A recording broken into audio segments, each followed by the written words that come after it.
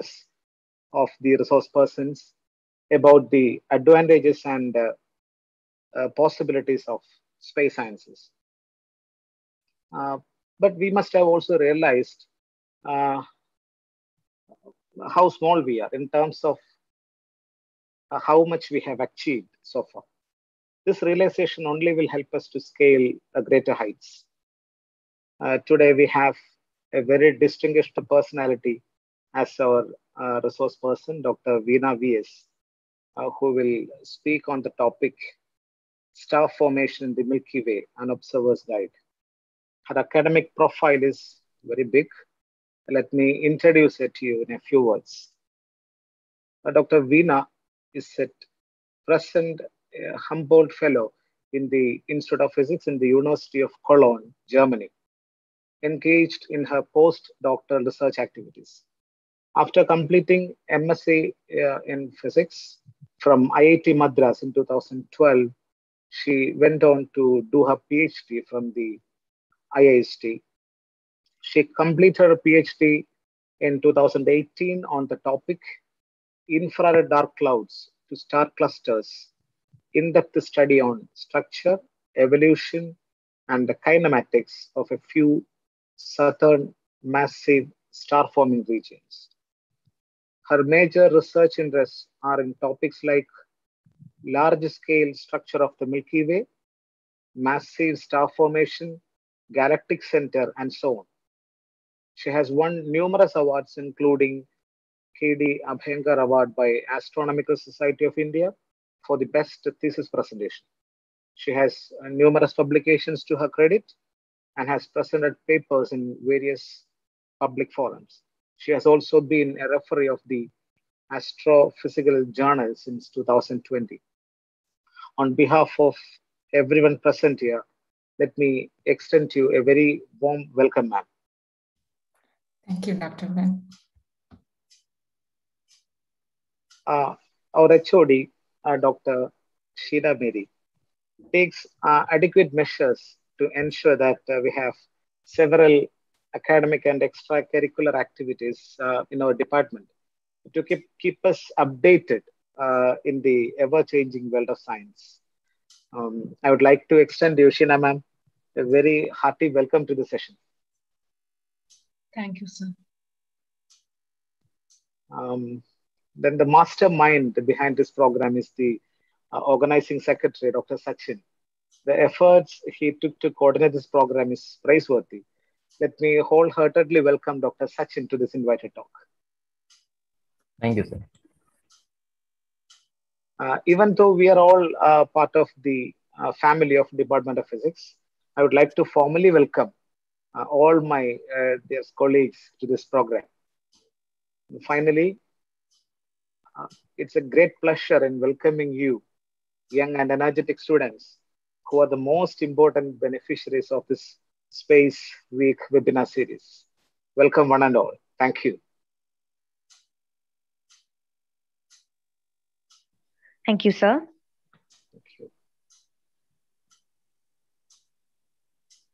I'm overjoyed to take the opportunity to invite our resource person of the day.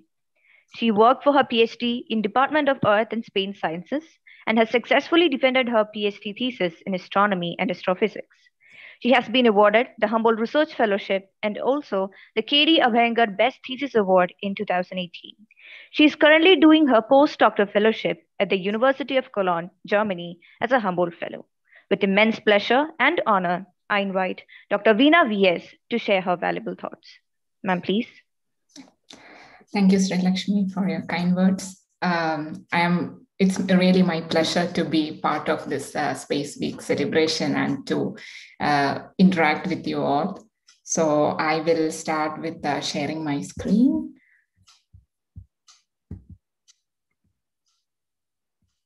Okay, I hope uh, you are able to see my screen. It is visible. Yeah, thank you. Okay. Um, so today I will talk about the star formation in the Milky Way and observer's guide. So through this presentation, uh, I would like to give you a flavor of uh, observational multi-wavelength astronomy uh, in emphasis with the star formation in our galaxy, the Milky Way, without introducing any complex mathematical equations. So uh, through this, if you uh, feel, get a feel of what uh, we observational astronomers um, do in our research, if, if you can get a, at least a small glimpse, I will be more than happy uh, for that.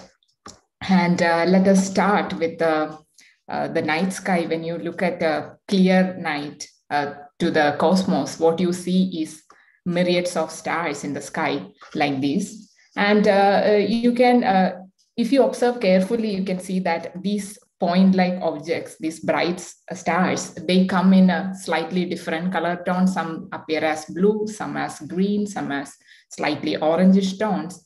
And astronomers try to understand what are these objects.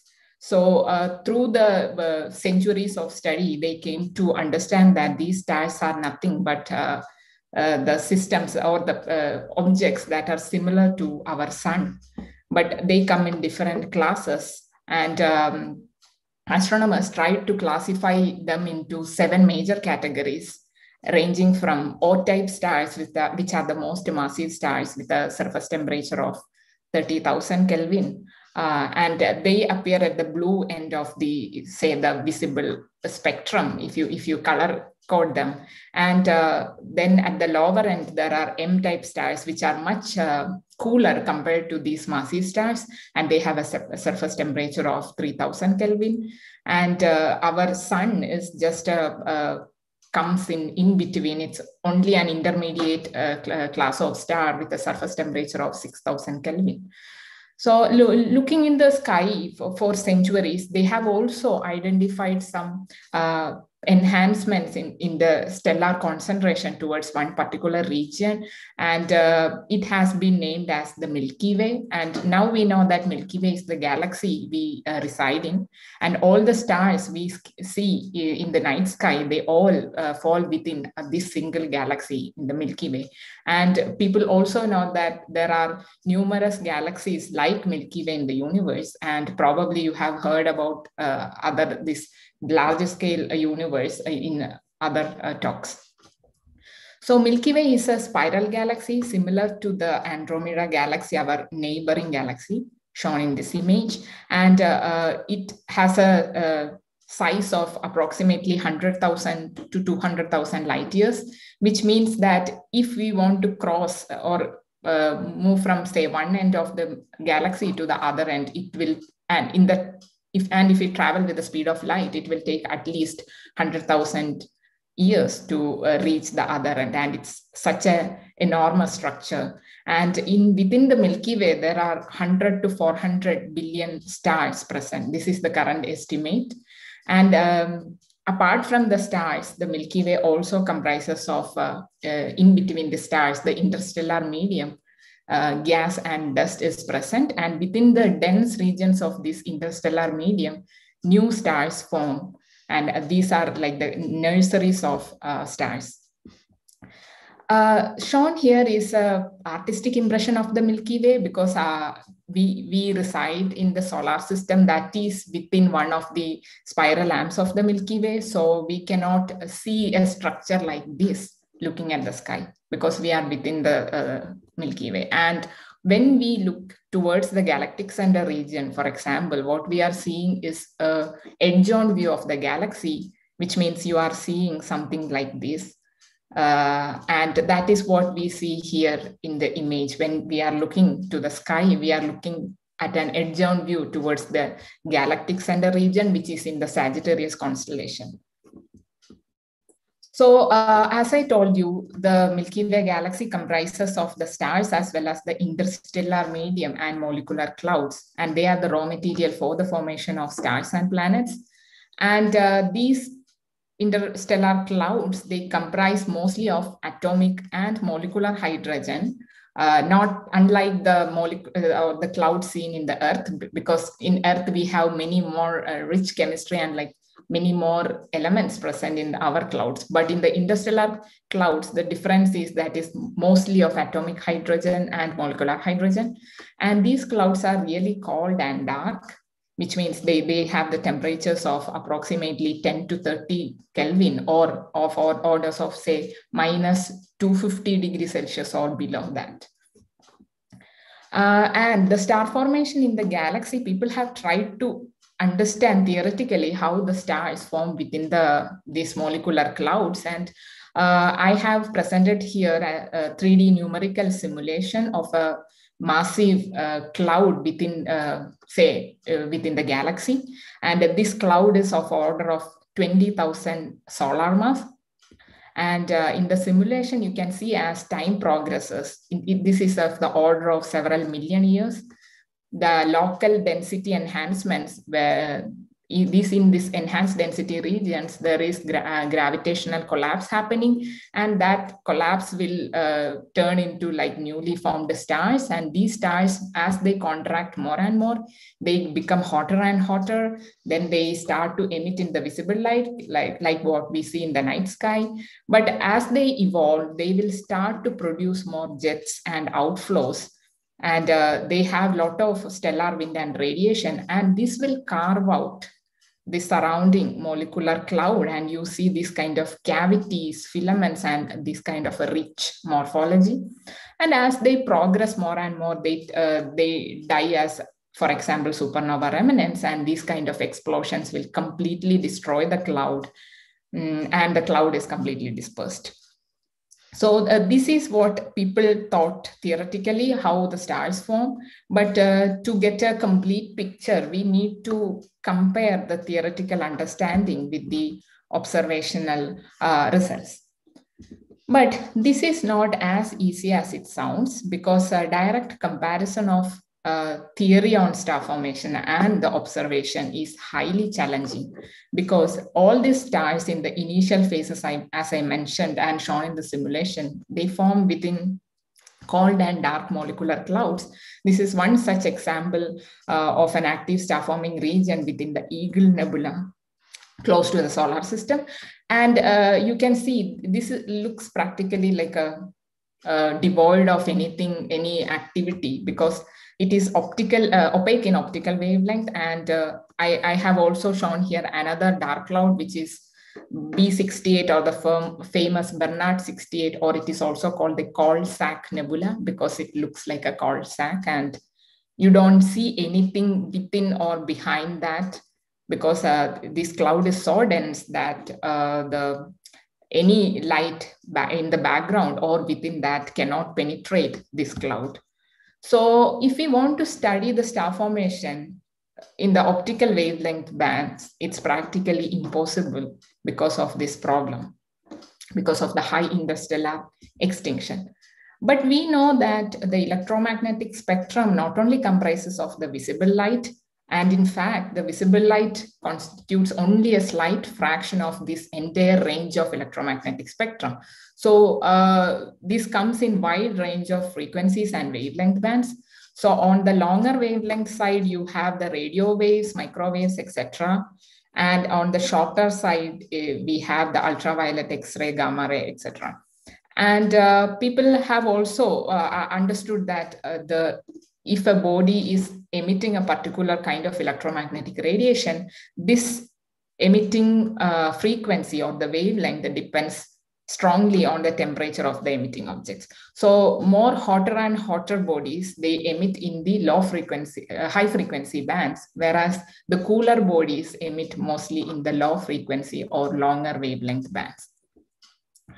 Um, and apart from this, one more thing I want your uh, attention to is this is a ba basic high school level physics uh, equation, which is the Wien's law, which means that uh, the peak temperature of the uh, black body, whatever it is emitting, that peak uh, wavelength is inversely proportional to the temperature of the body. So shown here are three uh, curves 12,000, 6,000 and 3,000 Kelvin. And you can see that the uh, uh, hottest one, the 12,000 Kelvin, the peak temperature is somewhere here, but the, as we move to the lower temperatures, the peak is shifted. This we all know. And we also know that, uh, see from the figure that uh, it's only not only emitting at a very specific wavelength, but it follows a distribution like this, the energy spectrum. And uh, if we see these three uh, temperatures, we, we know that the visible light is not, in fact, the like the peak of, for example, this curve. And visible light is only a small fraction of all this, uh, this entire spectrum. So we know that uh, not only that visible light, when we are like studying the visible optical astronomy, we are probing only a very uh, uh, small fraction of what, what is exactly happening. And we, we get a small information, but um, also maybe in the other wavelengths there are like completely different uh, mechanisms happening and uh, to get a complete picture we definitely need the multi-wavelength studies. Uh, but again uh, I, I want to mention another challenge in the multi-wavelength astronomy because if we look at the atmospheric opacity plot of earth uh, so this plot basically means that whatever shown in the y-axis is the opacity, which is um, uh, how much uh, the electromagnetic radiation can penetrate the atmosphere of Earth. So we already learned uh, that uh, ozone layer protects uh, us from the harmful X-ray and gamma ray radiation, right? So that is basically shown here in the uh, graph. So towards the shorter wavelength bands or high frequencies, uh, all the incoming radiation is blocked by the Earth's atmosphere. Then we have this visible window where uh, almost most uh, all of the incoming radiation can penetrate. That is why we are able to see all the astrophysical objects in the optical bands uh, from Earth. But then if we move to the infrared uh, part of this plot, we see that, okay, some regions of the infrared, there is transparency or like it is allowing uh, incoming radiation, but some regions there is high um, opacity. This is because uh, some of the infrared radiation is strongly absorbed by the water vapor molecules in the atmosphere. So if people want to study these kind of objects, there is no option other than to look, uh, go to the higher altitudes where uh, water vapor is less and there you can do that. And also I, I forgot to mention that in the high frequency gamma and X-rays, you definitely need satellites because you need to go outside of the Earth's atmosphere if you want to probe the radiation coming from astrophysical objects. Then again, uh, there is this mid and far infrared uh, region where opacity is again really high so that you definitely need something in the space to probe the incoming radiation. But then as we progress towards the longer wavelength bands, the atmosphere is again uh, like allowing to uh, for the incoming radiation. So these are mostly the radio waves. They they can penetrate the uh, Earth's atmosphere. So you, you don't need to go into the space to study the radio uh, signals. Uh, so we know that, okay, for the multi-wavelength astronomy, we need different kind of techniques. Sometimes we need to uh, go for a space telescope. Sometimes we need uh, the ground-based observatories. So uh, our um, conventional view of the optical, te what a telescope is uh, based on our optical telescope, this has been like, this is not good enough for us. For example, if we look at the high frequency telescopes like the uh, gamma ray telescope shows here the image of the Fermi. This is a satellite. And uh, the Fermi, um, we have this bismuth germanide detector. And this detector is essential to detect any gamma ray radiation. So we need those kind of detectors specially equipped in the satellites for the gamma ray astronomy. Whereas if you go to the X-ray astronomy, so shown here is the famous Chandra X-ray satellite. Uh, so here the usual optical mirrors you see in the um, normal telescope that is replaced by uh, these kind of mirrors of uh, ceramic or metal because to detect and deflect the x-rays incoming uh, x-rays we really uh, mirrors cannot do that. So re we really need metallic uh, mirrors for example and uh, in the infrared uh, wavelengths, uh, the, the telescopes are almost similar or the techniques are almost similar to what we use in optical, except that they have to be in very high altitudes or in the space. So this Herschel is an infrared telescope in the space and the SOFIA is a flying observatory under NASA. So, or even you can observe infrared with the um, telescopes in the mountains, for example, in the Atacama, Chile, uh, uh, then in the Himalaya, we have like Himalayan Chandra telescope, which can observe in the near infrared, etc. But uh, if we move to the longer wavelength bands in the radio, the picture is completely different. Here, instead of all these different kinds, we need basically something similar to our TV uh, antenna. So these are like parabolic antenna dishes, and uh, we sometimes instead of one, uh, like 30s or 40s of these kind of dishes uh, distributed in a uh, area of say several kilometers are used to probe the to act as a single telescope and probe the incoming uh, radio uh, emission from the astrophysical objects. Uh, so I don't want to go into detail into this technical aspects of this uh, uh, multi-wavelength astronomy. Instead, I will focus on the scientific aspects. And uh, first, let us show the uh, normal optical image of the Milky Way. so this is the image taken towards the galactic center region. So we are sitting in the solar system and we are looking towards the galactic center. And you can see this kind of a central uh, slight enhancement in the brightness towards the center. And this is where the galactic center is roughly located. And but you can see in the optical, there are these bands or filaments of molecular cloud sitting against this bright background. Mm, and uh, this is practically blocking all the incoming radiation. So we are not able to see what is happening behind these clouds. But this is also in a way kind of blessing to us because uh, if this was not the case, our night sky would also be like as bright as the day sky because galactic center is really bright and the clouds blocking uh, radiation is the only reason why night sky appears as dark. Uh, but if I present you all the multi-wavelength uh, view of the this in inner galaxy taken with different telescopes, the picture is completely different.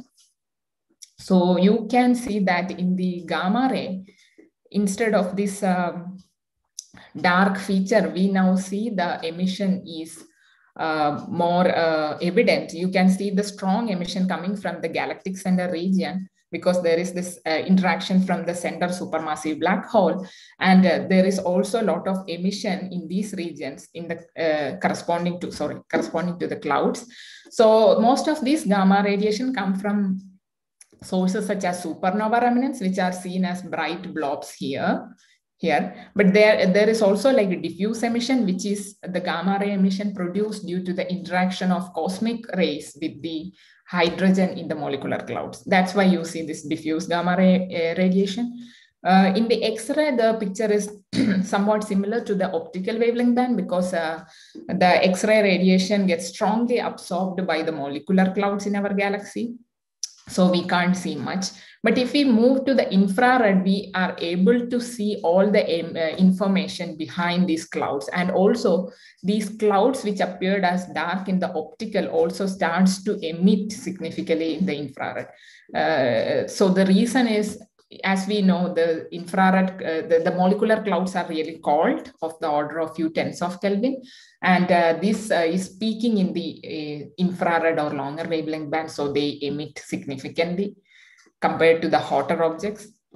And in the radio, you can completely, like these um, radiation can completely penetrate the molecular clouds and you can see all the information. Again, uh, the galactic center is appearing as like a bright band here. And you also see uh, this radio emission, the synchrotron emission from several supernova remnants and all these high energetic events.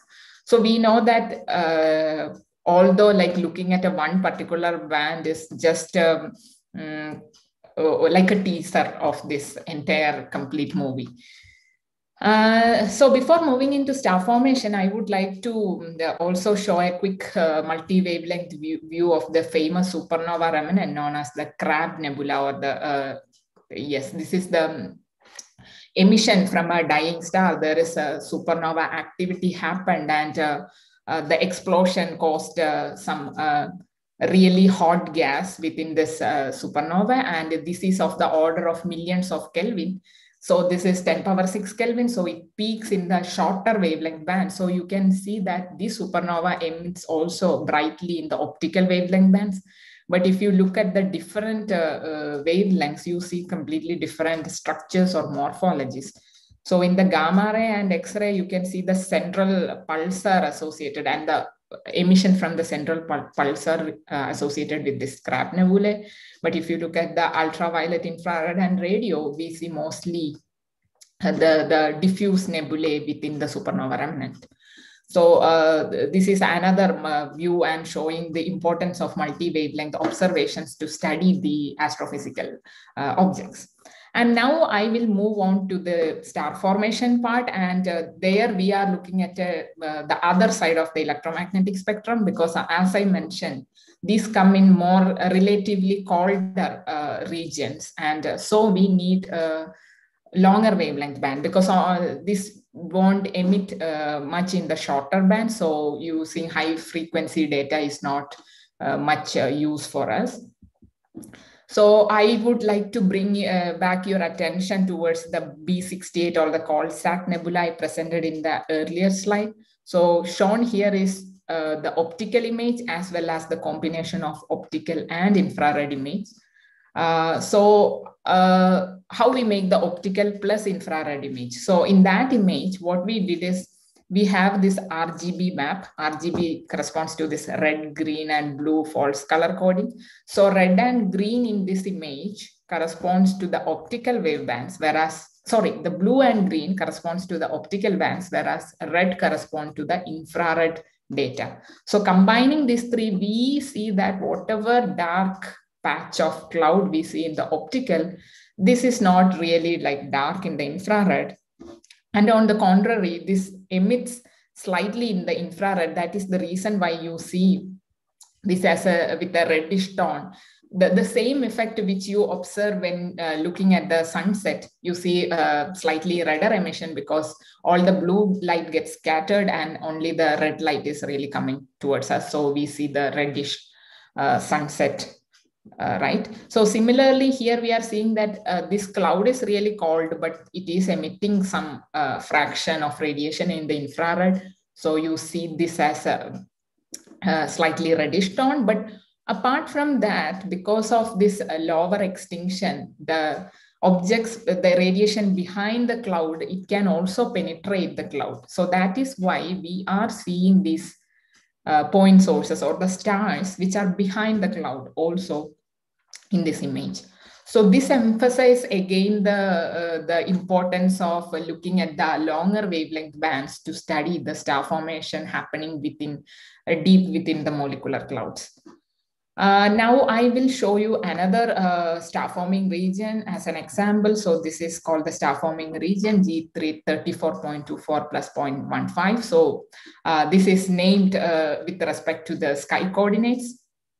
So you see here the optical wavelength band and uh, I don't think you can uh, make out any like any difference uh, in this. Where is the exactly the star formation happening or anything? Even you are not seeing any molecular cloud. This just appears like a, a, a collection of stars right? So um, here I want to, okay, before mentioning anything, I will show you the uh, other infrared image, slightly longer wavelength band image.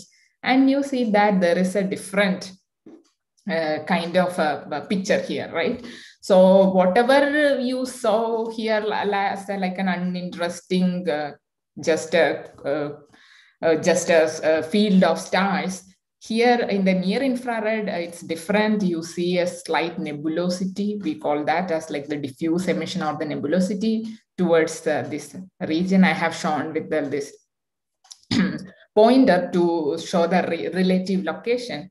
And uh, you also see some kind of dark patches compared to the uh, other region. So this is uh, maybe you may be wondering why you don't see anything like uh, the dark Coalsack Nebula here, because uh, in this image, you are looking towards the galactic inner galaxy. And in the inner galaxy, there are so many stars in the foreground and back, background. So uh, you are seeing all these stars in front of them, which is blocking all the, like, you don't see any contrast between the uh, you know, the background cloud or the foreground stars. But in the infrared, you can see like compared to other outside regions, this part has relatively less concentration of stars, which means that there is some kind of cloud sitting there.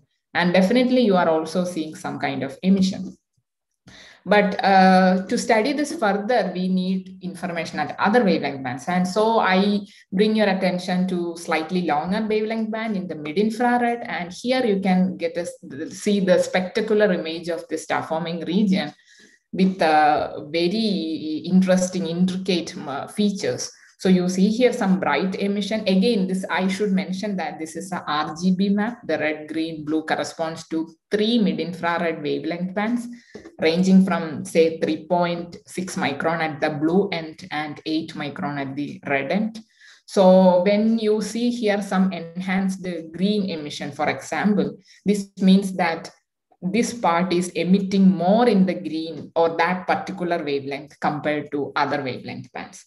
But again, in the infrared also, you see these kind of dark patches, which are like the real dense parts of the molecular cloud. But then you also see some emission like this. Now moving to the other longer wavelength bands, I present here the complete uh, six way, like six band image of this star forming region. And uh, you can see as you move from shorter to longer wavelength bands, you are getting more and more information. But not only that, all these Im images are completely different from each other, right? When you are looking at different wavelength bands, you are no longer seeing the exact morphology, Mm, in the near infrared, you just see some nebulosity, but in the mid infrared, you see this kind of rings and with the central bright source and some enhancement. But in the far infrared, what you can see is where you saw this kind of dark patches, they appear really bright here. And then in the submillimeter, if you move, this central bright region started fading, but you also see some kind of these filamentary structures. And in the radio, this is completely different. And you see a, like a structure like this, which is at a, say, centimeter wavelength bands. Now, uh, I have presented all these images, but how to connect them, how to study the star formation. So this is also, again, I should mention that I'm presenting here only the very uh, simple or very uh, few, few aspects which we study. So for example, if we look at the near infrared wavelength band, what you are really probing is the hot dust of the order of 1000 Kelvin. You can study with the uh, near infrared. Then you can also get an idea about the newly uh, like the stars formed in the uh, in this region if there are clusters of stars you can see they will be like uh, concentrated in a particular portion of this region then we can also get an idea about the classes of objects called the young stellar objects or the newly formed stars, which are not in the main sequence phase, but more in the early evolutionary phase. But if you look at the mid-infrared band, we see a slightly different picture because this mid-infrared diffuse emission corresponds to warm dust of few hundreds of Kelvin in contrast to the thousands of Kelvin at the near infrared. And in the mid infrared, you can also get other um, molecules like the uh, complex hydrocarbons in the space. You can also get an idea about the silicate dust features in the space, etc. But again, mid infrared also probes the young stellar objects and the more early kind of protostellar objects as well. So you may be wondering like, uh, okay, she has presented all these images and say that uh, these are the properties or these aspects can be studied, but how astronomers came into this conclusion that this is this and the other one is that. For that, I show bring back your like attention to the earlier uh, electromagnetic spectrum, energy spectrum, Wien's law, etc. So shown here is another uh, uh, the uh, spectral energy distribution uh, and of objects of different temperatures and you can see something ranging from say 100 Kelvin to 10,000 Kelvin. And uh, I mentioned that the hot dust corresponds mostly to 1000 Kelvin objects. And if we look at the near infrared, near infrared is of the wavelength uh, ranging say 1 to 2 micron. And if we see the 1 to 2 micron, and the corresponding curve, you can see that the objects with the black body spectrum of 1000 Kelvin, they peak roughly at order of 1000 Kelvin. So from that, we know that, okay, whatever is emitting dominantly in the near infrared, those should have temperatures of the order of few thousands of Kelvin. But if you go to the mid-infrared, uh, mid-infrared is somewhere close to, uh, say, 8 to 10 micron. And if we move to that region and we see that mostly the objects emitting and these uh, are peaking at a uh, temperatures of corresponding to 300 Kelvin or like few hundreds of Kelvin. So this is why I said that when you're looking at the different uh, bands, different wavelengths, you are uh, uh, seeing the emission at a different different temperatures. So it is more similar to you are looking at a different layers of emission. Then uh, if we, for example, pass this light through a spectrograph and look, take the spectrum out and see the spectrum will have several peaks like this.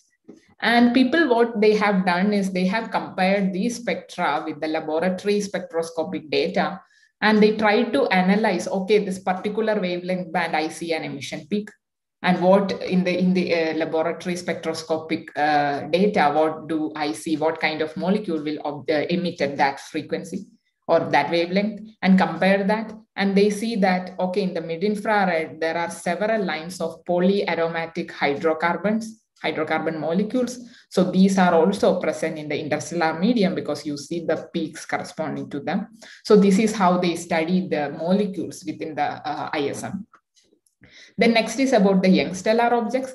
For these, uh, people use mainly a technique called the color color diagram. So in this one, what we do is uh, you see several stellar point-like objects in these images, right? And we take all the image, in these sources, extract the information from them. And uh, since we are looking at different wavelength bands, we have the magnitude information corresponding to different wavelength bands. So for a particular star, you have the magnitude at 3.6, magnitude at 4.5 micron, magnitude at 5.8, 8, etc., etc. So what you do is take the difference between the magnitude of two bands and then another two bands, and then plot them as x versus y. So these kind of plot, forget about any band, but the general idea is you take the magnitude difference between two bands and then plot them in the xy uh, axis. And you see a distribution like this and uh, the main sequence sources they will have nearly zero uh, or uh, not much difference in the magnitude uh, in, the, in, in this color color diagrams. Whereas if the uh, sources are young stellar objects or they are like really young sources what happens is they have lot of dust around them right so the, these sources, since they have a lot of dust around them, this dust will absorb some of the um, radiation from the star, right? And this absorption will depend strongly on the wavelength. So the shorter uh, bands will be absorbed more compared to the longer bands. So depending upon how much dust is present, the uh, object can show like a move in the color color diagram towards this this side if it is more close to the central zero zero axis here it is more uh, less evolved or sorry more evolved. And if you if they move say this direction or this direction which means that there is lot of dust associated with them and they are less evolved and we are probing the young stellar objects. So uh, the objects uh, see like uh, with an offset really from the main sequence. We can take them plot them in the plot uh, these uh, images and see their location and identify the young stellar objects. And moving into the submillimeter band as i said they emitted really cold uh, bands to peak in the submillimeter. And this means that they probe mostly the molecular clouds associated with the star forming region. And again, when you do spectroscopic studies, you can clearly see several lines of interstellar molecules such as carbon monoxide, hydrogen cyanide, etc. And also uh, these molecular clouds, uh, they will also show some enhanced the clumpy distributions or core-like distributions. And these clumps are fragments uh, are the regions where the newly uh, formed stars or stars undergo gravitational collapse and they, they form the stars. Uh, but we also note that the submillimeter, you don't see much uh, stars in the background. Why? Because uh, stars emit mostly in the shorter wavelength bands. And when, when their spectral energy distribution falls drastically before reaching the submillimeter. So you, you don't have much emission from the uh, main sequence stars. So here mostly the molecular cloud and clumps which are undergoing collapse. But if you go to the radio bands, uh, I should mention here that this is probing the ionized plasma around massive stars. Because uh, any stars with temperature of order of 10,000 Kelvin or more, they can produce in enough ultraviolet radiation and this ultraviolet radiation can ionize the surrounding hydrogen cloud and this will produce a plasma around the, the immediate vicinity of the central star. So these kind of emission indicate that there is already a, some kind of O star or B star formed and that is ionizing that region. So uh, we know that we have different kind of uh, uh, information obtained. And uh, now what we want to do is just combine all this like a different pieces of puzzle and get a complete multi-wavelength picture of the star formation activity in a specific region. So for that, what we do is we use all this information, extract everything. Uh, these are the, as mentioned, some of the aspects, but we use all this data, uh, estimate the temperature of the region, density of the region, study the protostellar objects, etc., etc. So here I show the a picture where I have combined some of these images. So the red corresponds to this uh, far infrared image. The green corresponds to this mid-infrared one, one band. And uh, uh, you can also see this uh, contour, which corresponds to this radio emission. So combining everything together, you can see that the cold part or the, the red part, red part corresponds to regions of more far infrared or millimeter emission, which means that these are really the regions which are less evolved. They are more the molecular clouds where initial stages of star formation may be happening, but we don't have any like evident signatures. But where you see this kind of enhanced the green uh, emission, that is where you have more hot dust compared to the cold dust. So there is more hot dust and these are the regions which are likely gets heated up by the stars within them. And the radio, if you see, the, this is concentrated really in a small region here, which means that there is some kind of uh, O and B stars formed really within the cloud and that is ionizing and that ionizing radiation you see here. But if you look just at the visible band, you don't have any information. You, you don't see this complicated picture at all. So which means that we need this kind of an analysis to get the idea. But apart from this, um, understanding the temperature and uh, uh, young stellar object population, uh, we can also study the chemical complexity and uh, studying the spectra, you can understand what kind of molecules are formed. And also these molecules are, this is a complete branch of astrochemistry where people try to say, take the abundance, relative abundance of different molecules and try to study them and say like, okay, at this point of evolution, this molecule will be more than the other molecule, for example. So these kind of chemical uh, studies will be also useful to understand the chemical composition as well as the evolution. But then uh, combining all the information, we can get an idea about what evolutionary stage the uh, uh, the region is. For example, is it having more young stellar objects or more uh, molecular cloud, etc., etc., and you can get an idea about the approximate age because getting a the the correct age is highly difficult, and uh, but you can at least get an approximate age. So we do these kind of studies towards individual regions, but then combine everything and do a statistical study to get a picture of the region. So to summarize here, um, these observational study of star forming regions are really challenging. So in the optical wavelength bands, there is really high extinction and you don't get much information. You cannot do much with only the optical astronomy. But if you combine multiple wavelength the advantage is that you can probe objects in different stages of evolution so this is like a you know you see the different layers of an onion like that these are the different layers in uh, what we see in the multi bands and combining everything uh, you can uh, get a complete uh, picture of the region. And uh, also the uh, facilities keep on like improving. And with the novel observational te techniques new discoveries keeps on happening. And people are getting more and more interesting information about these star forming regions. So with this, I will uh, stop here. And thank you very much for uh, your attention. And I will be happy to take questions if any. Thank you so much, ma'am. Now we have the interactive session. I invite the program coordinator, Dr. Sachin PC, to coordinate the session.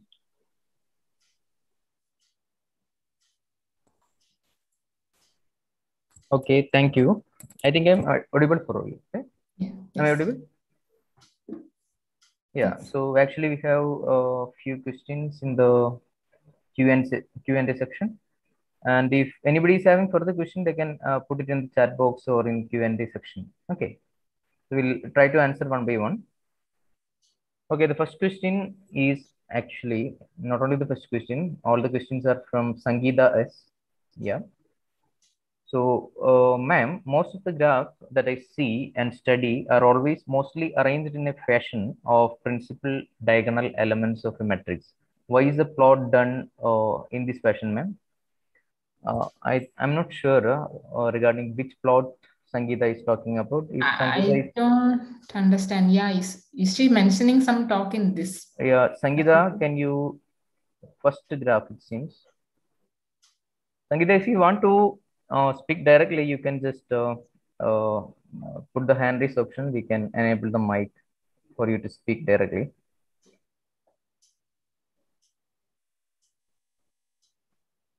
Main sequence. Yeah. I think. Plot maybe is is she mentioning this one? Yeah, the first first graph I think. Uh, but what what exactly is the question? Can you repeat again? I'm sorry uh, she's asking about something. Uh, maybe maybe we'll uh, give her the permission to mm-hmm. ask the question directly. Yeah, Sangeeta, you can ask now. Uh, hello, ma'am. Yeah. Am I audible? Yes. Yeah, actually, ma'am, in the first graph, like mm-hmm. whatever type of plots we see, it's always in kind of like a uh, matrix format only, like in the principal diagonal elements. Like how how is this plot actually done? That is my doubt actually. Why is it arranged in this fashion?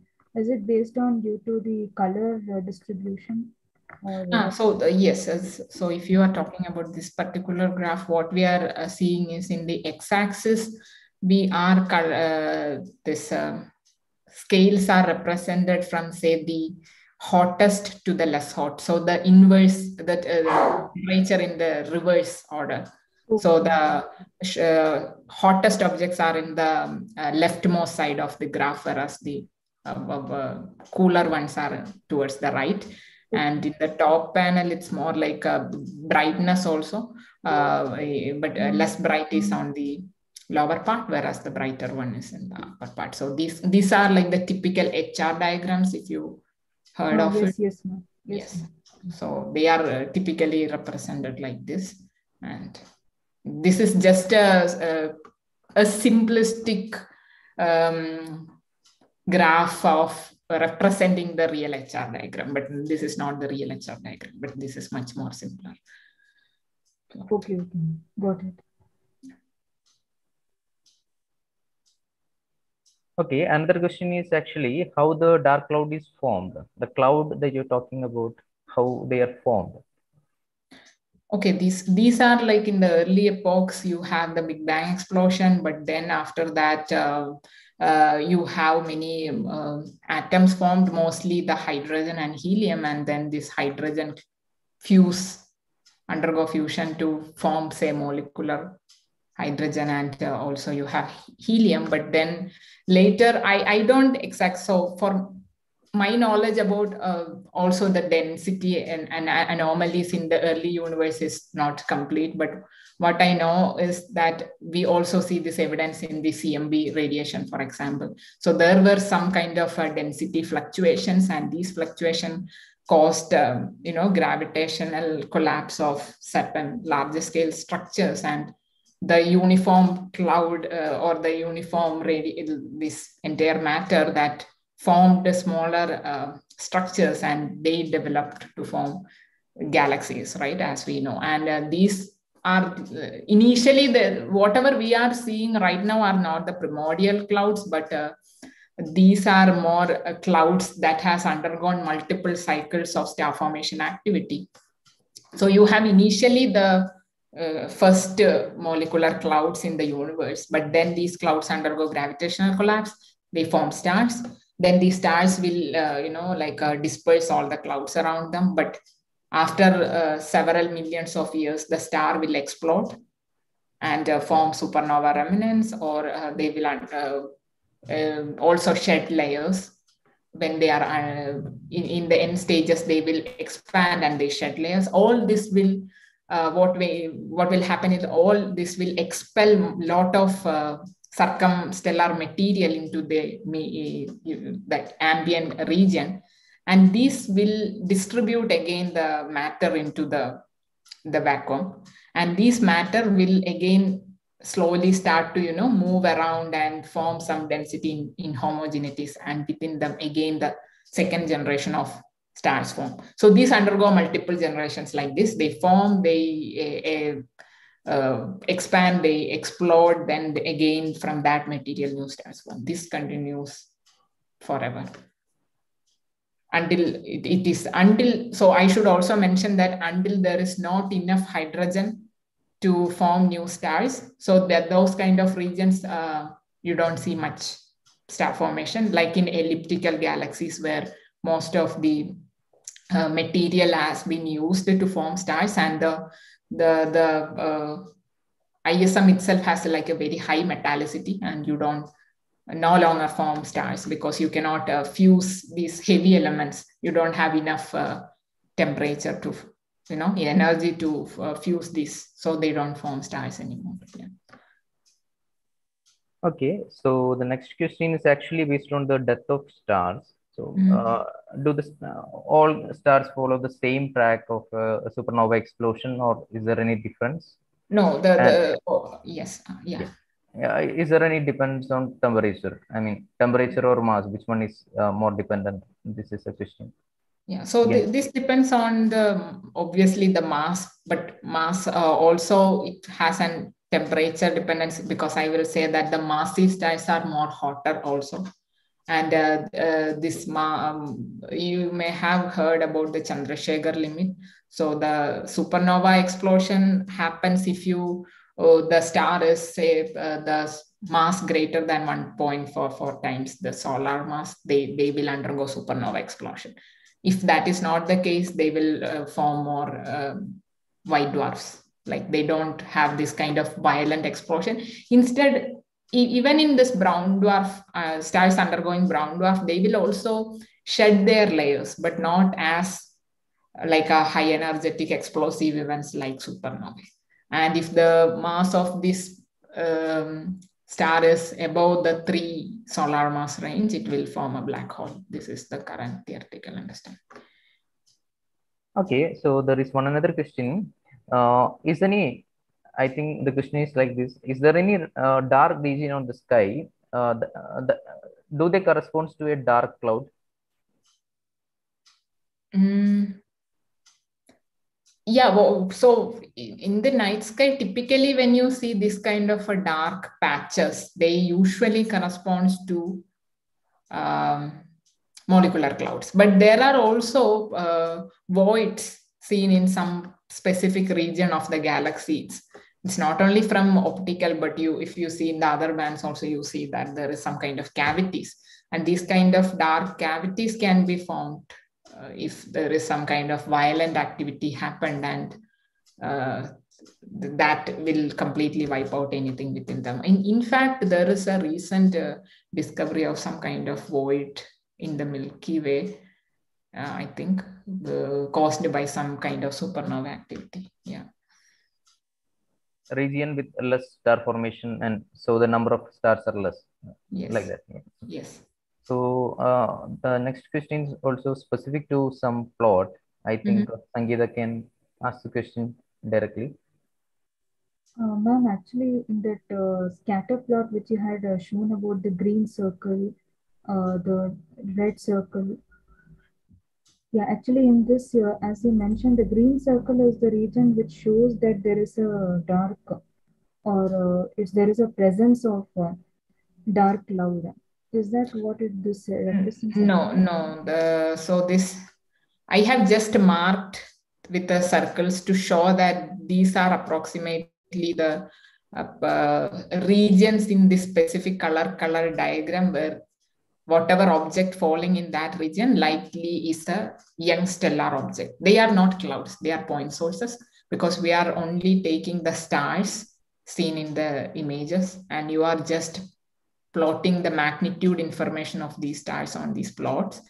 And if you see that uh, the main sequence stars will fall in the particular part of this color, color diagram. And the young stars, they will have a slightly uh, offset with respect to the region where main stars are located because those stars, the young stars, their uh, uh, radiation is slightly different from that of the main sequence. This is delineating the main sequence and young stars. Okay, okay. Okay, another question is from uh, Nandulal. Ma'am, can you say uh, more about how we can find the age of a star? Age of a star, yeah. So age of a star, as I said, one way is uh, if you want to observe stars that are really young, we, just checking the image like this, you cannot get any information, right? Because you are seeing some bright spots. But if you take the stars and plotting a color color like diagram like this or there are color magnitude diagrams. So in the x have uh, one wavelength minus the wave magnitude and the y axis one way this kind of different plots they are they all represent in a way the hr diagram. So if you see the um, hr diagram of this kind of stars you get in the uh, in relation to where they fall in this all different kind of graphs, you can get an idea about what uh, kind of uh, phase it is in. But this is one way. The other way is you have to uh, look at the spectroscopic data. If you take the spect spectrum of a star and you can see several lines. So main sequence stars, if it is a massive star, for example, you see a lot of hydrogen lines and helium lines because massive stars can really ionize these things. But if it is a low-mass star, you don't see these lines, but you see some other lines. So studying the spectral signature, studying the color color diagram, all this will give you an uh, idea about the uh, age of this particular star. This is how you usually people do it. Okay, uh, so uh, that's all the questions in the Q and A section, and um, I think I have to ask uh, one or two questions because, yeah, uh, one is actually you have shown initially uh, mm. a plot which is showing the opacity of the uh, atmosphere. Yeah. So in that, uh, uh, optical band is actually open for radiation. Yes. So basically, we need to have an access.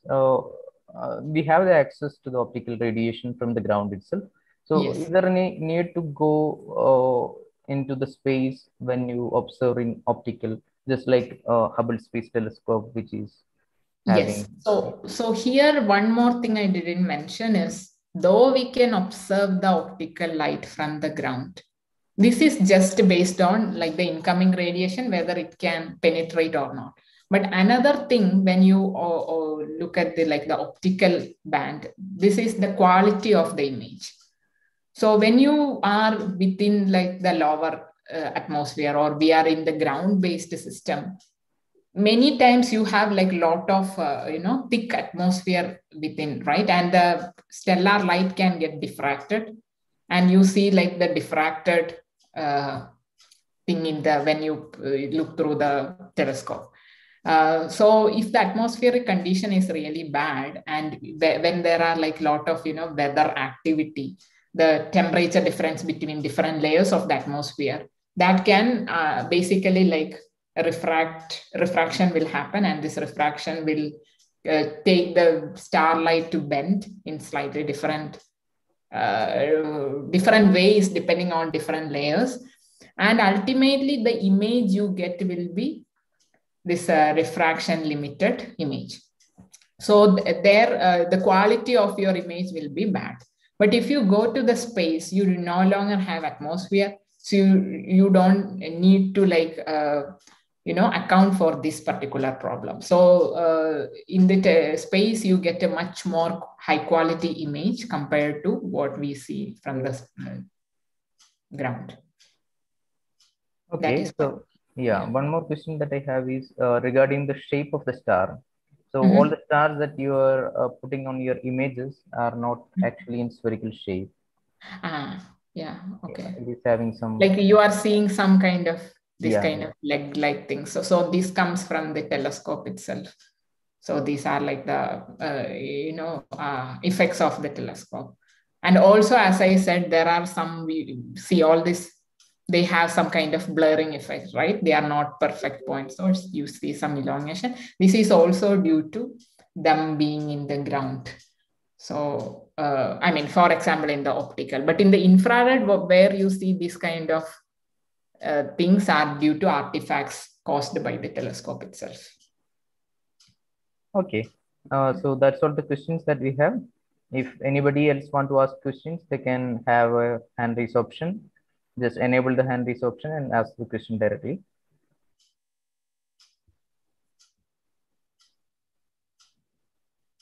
Okay, there is no further questions, I think. Okay. Thanks. Okay, so we can uh, stop the session here. Thank you, sir. Thank you so much, Veena ma'am, for such a wonderful session. Now, I invite Mr. Hari Govind to propose the vote of thanks.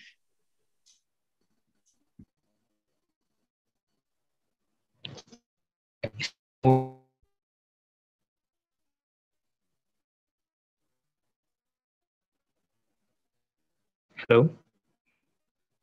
Is I am audible? Yeah, you're audible. Speak.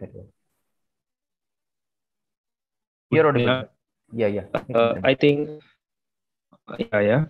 Uh, uh, all of us are uh, physics aspirants. As we all know, uh, physics aspirants are always excited to understand uh, mysteries of cosmos. Uh, it is a great pleasure to all of us to be a part of such great section. So I, Hari Govind JR, a student, uh, on behalf of all participants, wanted to thank Dr. Veena V.S. Madam to giving us such a wonderful and inspiring session. I also have to thank uh, our head of physics department, Dr. Sheena Miss, and uh, also uh, our Bensa Dr. Ben Baiju sir uh, for uh, a great welcome speech. And heartily, I'm thanking all the participants who give their attention to, to this program, especially for some of those students who go deep into the session and ask a lot of questions. I thanking all of them and just continue this uh, kind of spirit all of your career. Thank you. Thank you. That brings us to the end of the program. Thank you all for your valuable time and attention. Kindly feel free to share your feedback. Thank you once again and have a great evening.